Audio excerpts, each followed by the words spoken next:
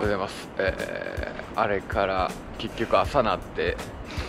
今が京都の飲み会3日目っていうことでもうもはや京都ではなく大阪には帰ってきてるんですが、えー、ゲストハウスに泊まってます。今はですねセブン入れでコーヒー買いに行って、えー、あちなみに時間は朝の7時半です。でゲストハウスのなんかオープンスペースみたいなのがあるんでそこでちょっと編集しようかなと思ってっていう感じで考えてます。なのでまずコーヒー買いに行きます。はいそれではいつも通りセブン入れでコーヒー買ってきました。なんかあのパッて鏡に映る自分見てなんかすごい寝癖やなと思ったんですけどあの全然店員さんとかも笑うこともないですしなんか普通やったんでなんか僕結構寝癖笑われること多いんですけどこの辺では大阪市内ではこの寝癖はそんなに変ではないんかもしれないです。まあ、多分なんかゲストハウスとか多いんでいろんな国籍の人いてはるから、まあ、こういう髪型の人もたまにはいてはるんでしょう。でオープンスペースで、えー、京都一の動画を編集していきたいなと思います、えー、飲み会行った時の動画です。では編集していきます。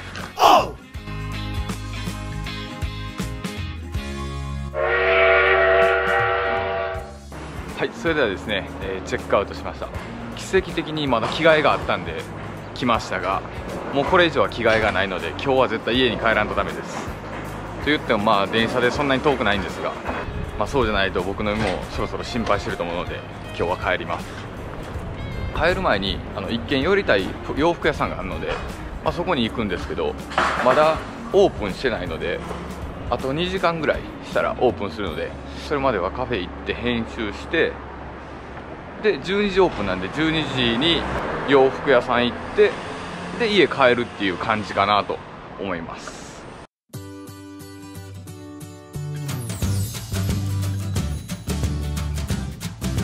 ちょっとですね歩いてる最中にですねコーヒーマイスターの食卓っていうところがあってなんかよく見たらあの関西で有名なんですけど隣の人間国宝さんに認定っていうシールが貼られててだから一回行ってみたいなと思います、えー、ここでモーニングして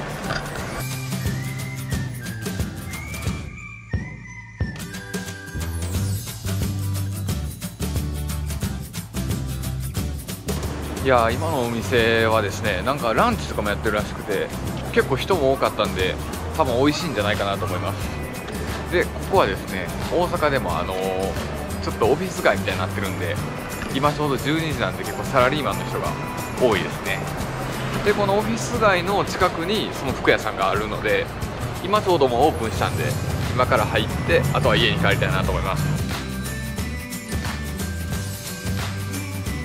はいそれではですね近くまで来ました、えー、多分もうこの辺やと思うんですがどこや？この辺ですね。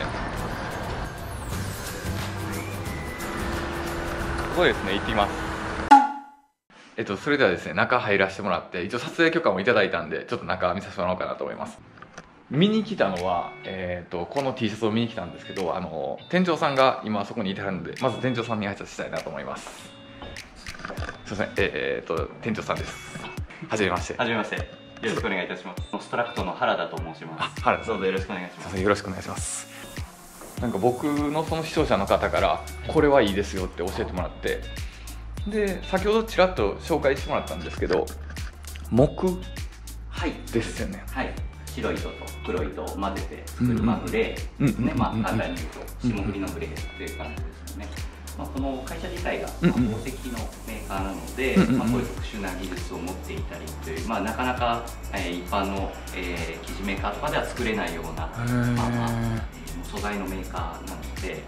僕とかやったら、はい、あんまそんな着こなせないでロンティーとかの方がいいんですかね。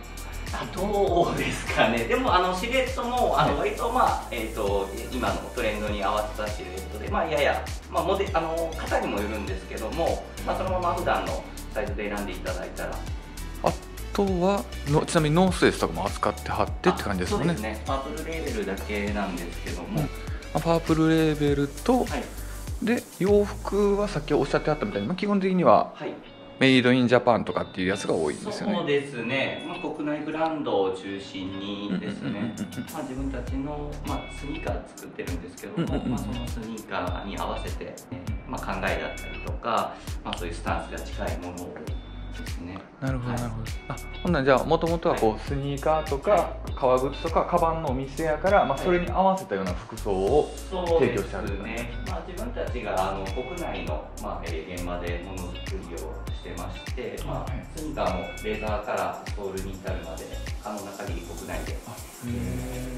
やるようにしてるんですけども、まあはい、大人な感じのお店ですもんね。ね、はい。どうか。小物からねそうですね。カバンから靴から。はい。へえすみませんじゃあちょっと靴とかもせっかくなんで、はい。すみません。この辺とかがじゃあレザーっていう感じですかね。そうですね。へえすみません僕全然勉強不足で知らなかったんですけど靴とかこれがブルーオーバーというブランドをやってはるってことですね、2011年から、えーやってまして、メイドインジャパンでありますね。まあ、主にもう関西の靴工場さん職人と協力して少量生産でやってる、まあ、本当に大阪の、えー一人の兄ちゃんが始めたブランドでして一つこだわって作ってはるってことですね。まあ、そうですね、まあ、機械と手仕事のまあいいところを取り入れて作っているっていう。なるほどなるほど。隠れ家的な感じだから僕も迷いましたね。ですねどうして多分そこの家そうなんですよ。結構皆さん迷われたり。それがまたいいですよね。いいですかね。はい、こっち側から来たら全然わかるんですけど、はい。逆から来たらどこやろうみたいな今日どっちの方から来てくださった？えっと大阪駅のあそうです大阪駅の方から。多分23本向こうの通りから回って回って回ってここやみたいな感じだった。んでそうですね。でも意外とこの辺あのーまあセットショップさんもまあ有名なショップも何軒かあったりですとか、あと美味しいお店さんとか、うん。おやつ屋さんというかお菓子屋さんとかもあったりするのでちょっと迷いながら来ていただくのも悪くないんじゃないかなと。まああと大きな公園が、まあ、目印というかウツボ公園っていう。公園がそうなんですよ。漢字わかんないですよね最初。自分も読めなかったです。そうなんですね。はいはい、カバンもはいここのオリジナルのブランドさんなんですよね、そうですね。まあオンオフまあどちらもお使いいただけるようなものがへですね。まあこれもあの関西の、えー、カバン工場さん。あ。や職人さんと一緒に。なるほど。直接依頼して。はい。この辺とかもおしゃれですよねめっちゃ。まあえっとまあこれもあのうちのスニーカーブランドからまああ。今シーズン出してるえーサンダルなんですけども。まあ経年変化ももちろんあるってこそうとでね。ですすね。えっと甲の部分にはえっと栃木レザーですね。あそれも脂肪がいい感じで出てますよね。ま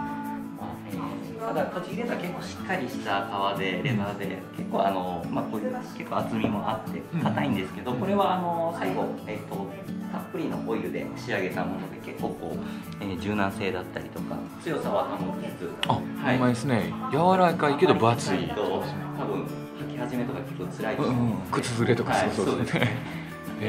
足の裏が設置する部分はヌメ革なんですけど味出そうですねはい。そしたら。これもあのーまあ、えー強い部分をなくさないようにうっすらと削ってるんですね。うん。あんまりこうツルツルしてるとこう滑ってしまってうんうんうん。あの履きにくいかなというので触ってもらうとちょっとこうザラッとした。あ、はい。ほんまですね。足裏って結構なんかしっとりしそうですね。ね。歩いてて脱げちゃうと困ると思うので